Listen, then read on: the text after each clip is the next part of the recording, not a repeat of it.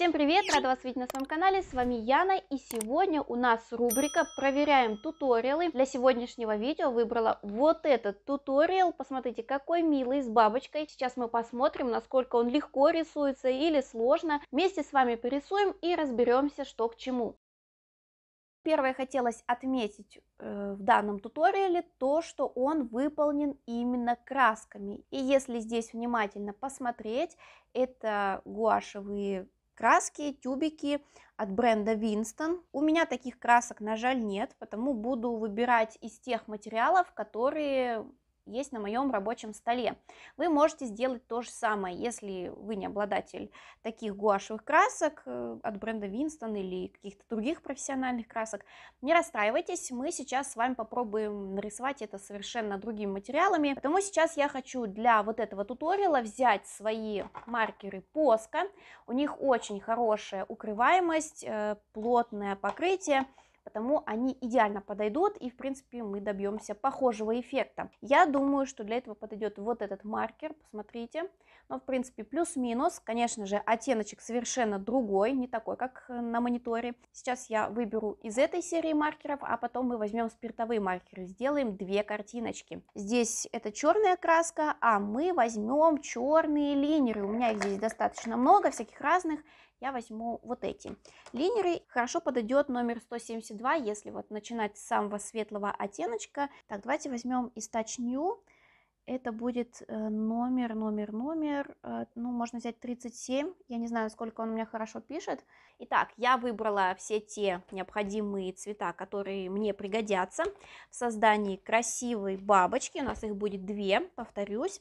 И сейчас мы с вами попробуем нарисовать Здесь все предельно просто, всего лишь 1, 2, 3, 4, 5 этапов. Но в основном 3 таких базовых этапа, а вот эти два это в принципе уже дополнение каких-то мелких деталей. И сейчас мы попробуем изобразить вот такую бабочку. Какая она у нас получится. Если вы волнуетесь, что испортите рисуночек, то можете сделать изначально набросочек этой картинки. Так, хм. у меня получаются какие-то зайчи ушки. Вот такой вот заяц. Так, сюда крылышко заводим. Да, цвет э, совершенно отличается от того, что на картинке. Конечно, хотелось бы это сделать красками, но, на жаль, таких красок у меня нет. Приходится рисовать тем, что есть. Так, это нижняя часть крылышка у бабочки. Вот так. Так, вот это как-то побольше немного, видите? Заднее крыло, то, что находится на заднем фоне, оно немного выступает, идет повыше. Как-то вот так. Но, в принципе, в процессе это все можно подправить, особенно когда вы рисуете красками или вот э, такими маркерами поска. Это все можно нарастить, подправить, исправить. Так что вот так получается. Сейчас мы все это закрашиваем.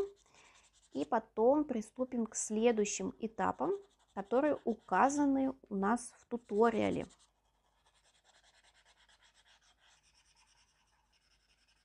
У автора видно, что бабочка немного смещена, то есть она как будто летит вниз, а у меня она вот как-то вот в ту сторону направилась и находится более прямо. Можно потренироваться, порисовать и в следующий раз сделать бабочку с небольшим наклоном, как будто она летит куда-то там принципе, на силуэт бабочки похожи, что это у нас крылышки, это у нас задние крылышки. Так, теперь нам нужно отделить крылышко. Мы его отделяем, смотрим. Так, надо как-то немножко сюда полосочку провести. И вот как-то так, да. Отделяем первое крылышко и второе. Так, чтобы вот уж точно четко попасть и не закосипориться. Так, вот как-то так такое ощущение, что вот это крыло, оно более ровное, а заднее крыло, оно какое-то более волнистое. Соответственно, я немного его подправлю, сделаю более ровно это крылышко, вот как-то так. Мне кажется, что автор тоже на каких-то этапах подправлял свою картинку, что-то там смотрел, исправлял, потому вы тоже можете это делать, ничего страшного. Так, ну и нужно вот какую-то такую вот волосастость, волосастость. Вот такую нужно тень добавить, в виде мелких полосочек. Вы же можете это сделать каким-нибудь плавным градиентом, тоже будет отлично смотреться.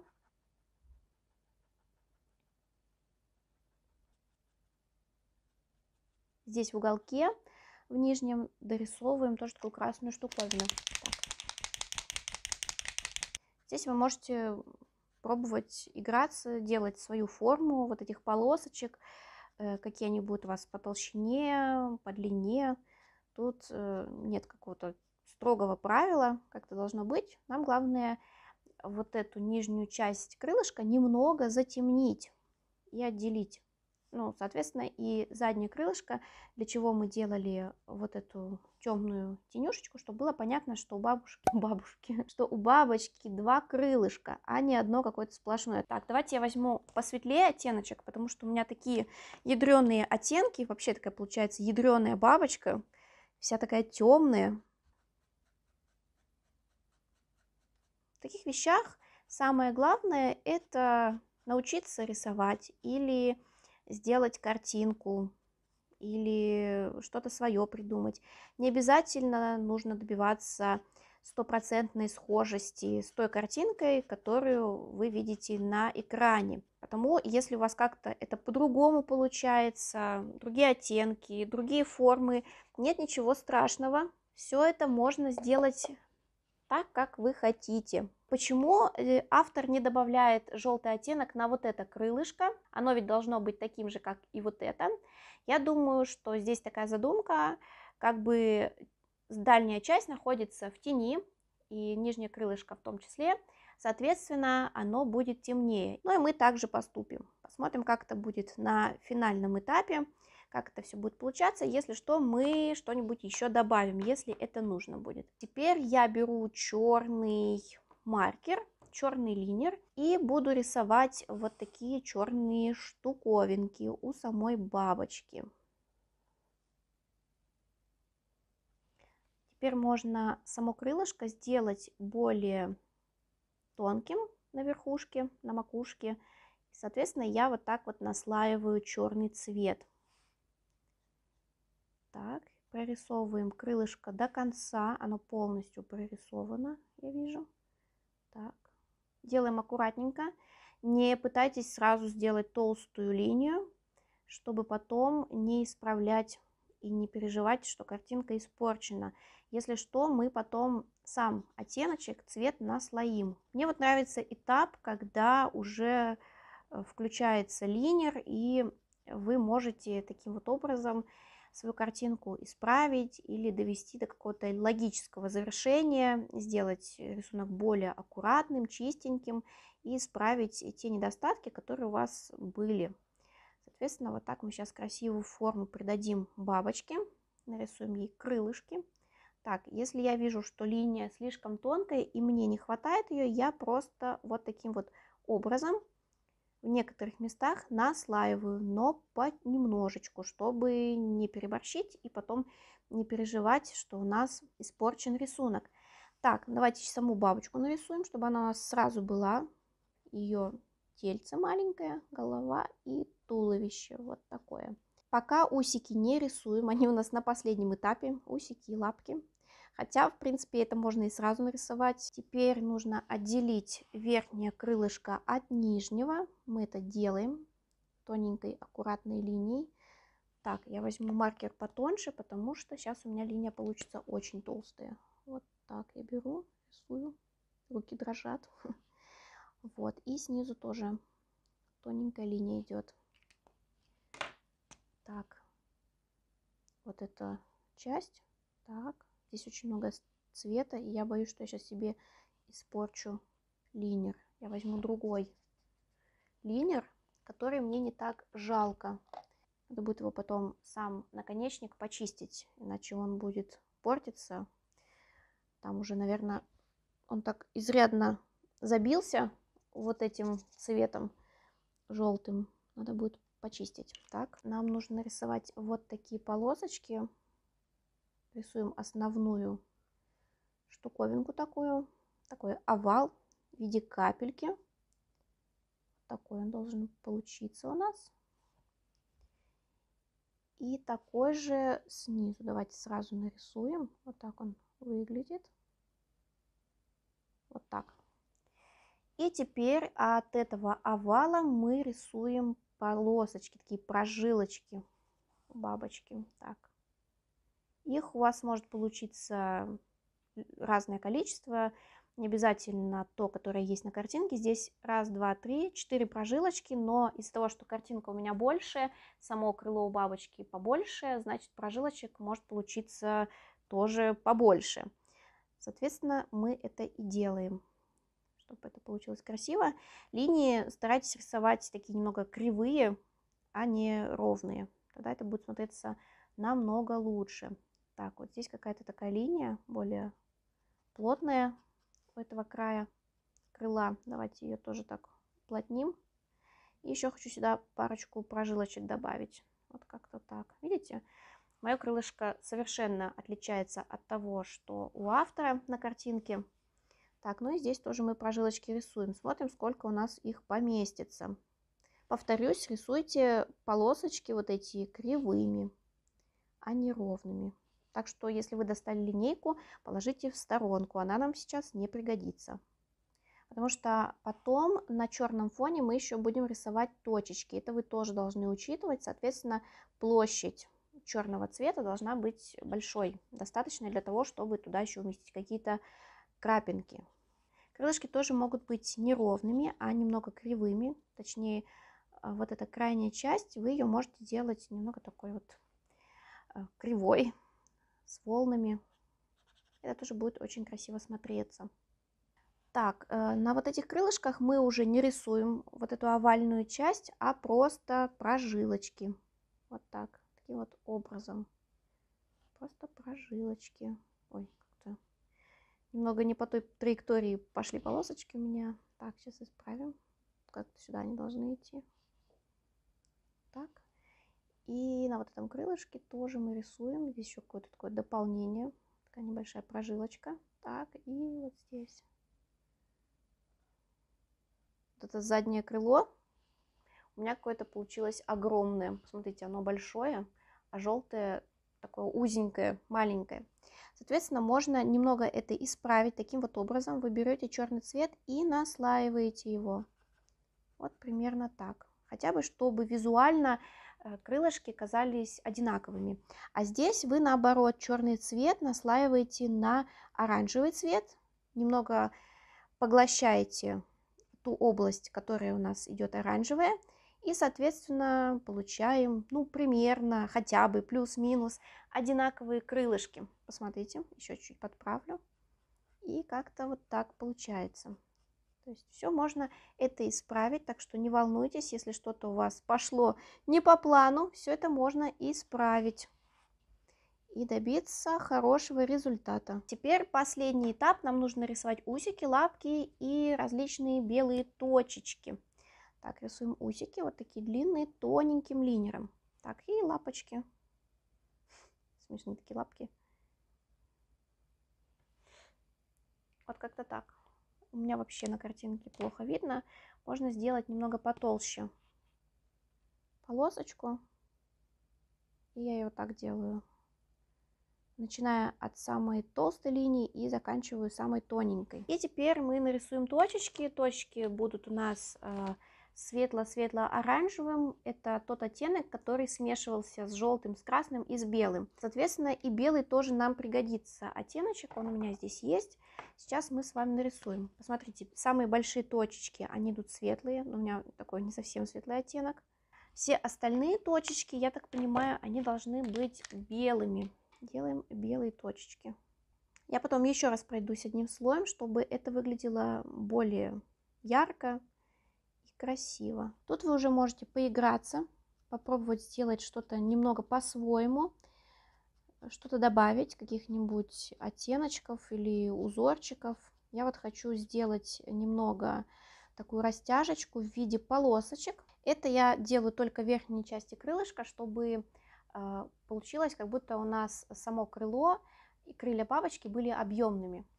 Соответственно, у нас в верхней части падает свет, солнышко, они так переливаются, а нижняя часть, она находится у нас в тени. Давайте еще сюда добавлю немного оранжевых, ух, оранжевые прожилочки. Совсем чуть-чуть.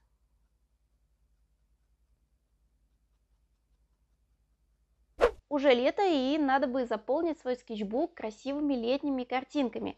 Если вы не смотрели мое предыдущее видео, где мы создавали потрясающий разворот по летней теме, я оставлю вам ссылочку, сможете зайти посмотреть и вдохновиться, что-то для себя там интересненькое найти, но и также заполнить свой скетчбук.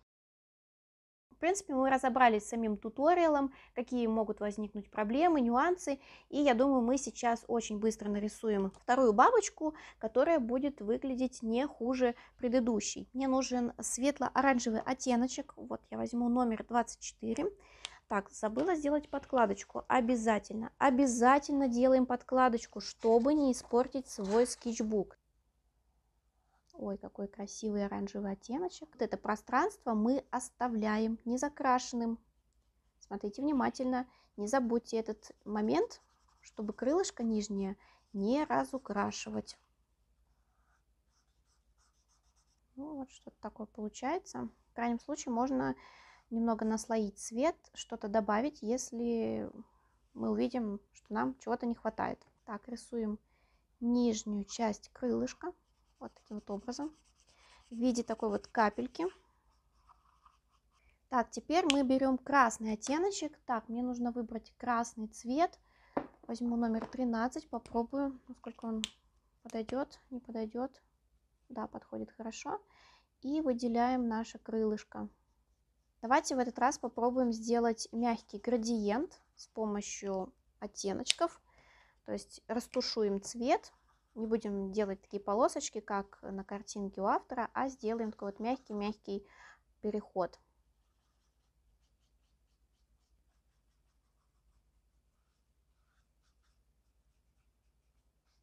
Верхнюю часть крыла я оставлю немного светлее, чтобы получился у нас такой вот объем. Теперь нужно подождать, когда цвет немного высохнет, иначе у нас черный маркер просто поплывет. Насчет э, маркеров поска хотелось бы отметить, что здесь черный цвет нужно было бы лучше рисовать именно маркером поска. Но так как у меня черного цвета нет, все это я сделала обычным контуром. Но если вы будете рисовать это поской и у вас есть черная поска, делайте все именно этими маркерами. Тогда будет лучше смотреться, будет тогда более плотное покрытие и не будет вот таких вот недостатков, как у меня здесь на этой бабочке. Еще для вот этой бабочки вы можете, например, сами точечки оставлять, вот рисовать такие овальчики, и просто их не закрашивать. Тогда тоже будет смотреться очень даже приличненько. Но в тех местах, где мы попадаем на оранжевый оттеночек и захотим там поставить точечку или оставить место для этой точечки, то уже не получится. Надо будет проходиться белым маркером поверх, чтобы получить нужный нам эффект. Кстати, никогда не любила рисовать две картинки в подряд одинаковые. Вот как-то не очень люблю. Ну, вообще не люблю повторяться в рисунках, потому для меня это сейчас такая дикость рисовать две одинаковые картинки. Вообще. Но очень хочется попробовать, посмотреть, как это будет выглядеть разными материалами, сравнить, проанализировать и с вами попробовать порисовать. Можно нарисовать вот такую форму и ее закрасить обычным спиртовым маркером. Сейчас я это сделаю, чтобы не тратить чернила у линера.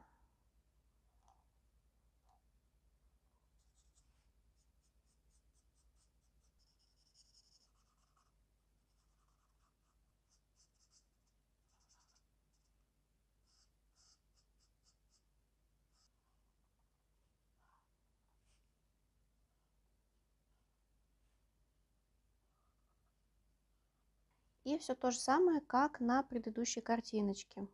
Все то же самое рисуем. Разные полосочки. Может быть несколько.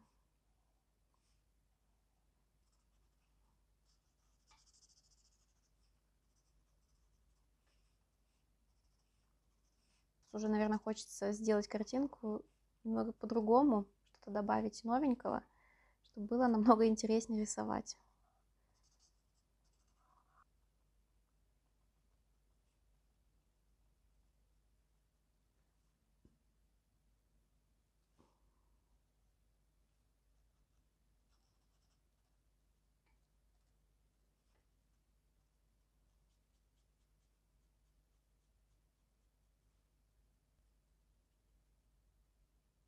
Итак, подводя итоги по данному туториалу, хочется сказать, что туториал действительно легкий, нет ничего сложного, рисуется легко, и мне нравится, что можно сделать разных бабочек, разных оттенков, очень даже здорово, мне понравилось, э, что мы попробовали с вами сделать э, разными материалами. Я здесь еще снизу дописала слово бабочка, и сверху подписала, какими материалами я рисовала эту и вторую картинку. Получился замечательный разворот. Если вы хотите заполнить свой скетчбук и думаете, как же его оформить, разворот, в принципе, можете взять вот такую идею. Туториал мы с вами сегодня разобрали, посмотрели, как все рисуется, и, в принципе, вы можете взять за основу этот урок и порисовать у себя, создать такую красоту. А я вам желаю хорошего настроения, жду вас уже в новых видосиках с новыми идеями, буду для вас записывать, продолжать. Будут сейчас идти по большей части летние картинки, летние идеи. Так что никуда не пропадайте, буду вас ждать. Всем пока-пока!